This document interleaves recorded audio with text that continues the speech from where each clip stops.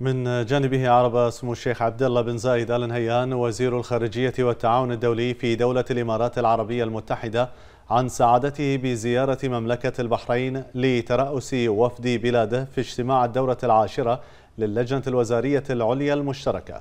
مؤكدا سموه على أهمية دفع مسيرة التعاون الاقتصادي والتجاري والاستثماري بين البلدين الشقيقين. وأشاد سموه بالعلاقات الأخوية المتجذرة بين البلدين والشعبين الشقيقين ومنوها بزيادة حجم التبادل التجاري بين البلدين مشيرا إلى أهمية الارتقاء بالتعاون المشترك إلى آفاق أكثر شمولا بما يحقق آمال وتطلعات صاحب الجلالة الملك حمد بن عيسى الخليفة عاهل البلاد المعظم وأخيه صاحب السمو الشيخ محمد بن زايد آل نهيان رئيس دولة الإمارات العربية المتحدة. الشرف اللي حظيت آه، به من آه، صاحب الجلالة ملك حمد البارحة في استقباله وتوجيهه لنا. آه، ولكن أيضا مدى عزيمة جلالة الملك للمضي قدما في هذه العلاقة. هذه العلاقة مع الوزير آه، كما تفضلتم علاقة قديمة متجذرة آه، علاقة يشعر بها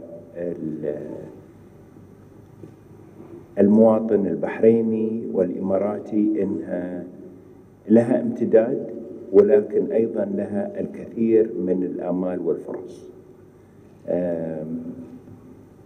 نعتقد آه، إخواني وأخواتي إن وصول آه، تبادل تجاري بين البلدين آه، إلى ستة ونص مليار دولار. وهذا تبادل تجاري غير نفطي آه، صحيح إنجاز ولكن لا يعكس الإمكانيات. نعتقد إن هناك إمكانيات وفرص عديدة كبيرة وبطموح معازيبنا نعم. جلالة الملك حمد وصاحب السمو الشيخ محمد.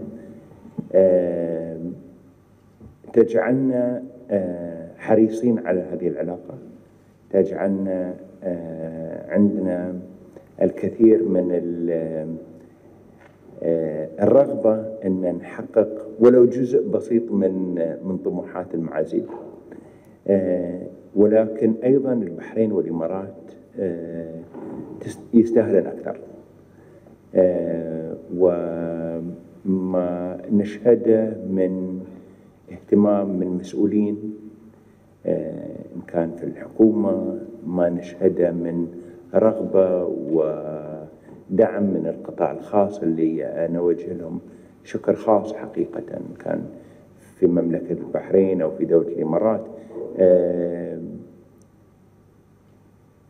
نعتقد إن علينا نحن كحكومتين إن نفتح لهم الفرص أكثر نسهل من آه، من تواصلهم وعملهم المشترك آه، نقلل من أي آه، تحديات أو معوقات لهم ولكن أيضا في نفس الوقت